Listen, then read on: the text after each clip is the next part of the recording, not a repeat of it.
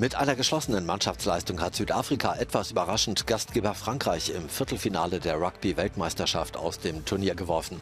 Die Springboks holten einen Rückstand auf und beendeten im Stade de France bei Paris die 18 Spieler andauernde Siegesserie Frankreichs auf heimischem Boden. Angeführt von Antoine Dupont erhöhten die Franzosen in den letzten Minuten des Spiels noch einmal den Druck, doch der Titelverteidiger blieb in der Defensive stabil. Am Ende hieß es 29 zu 28 für Südafrika, das jetzt auf Ex-Weltmeister England trifft, das sich gegen die Fidschi-Inseln in Marseille schwerer tat als erwartet.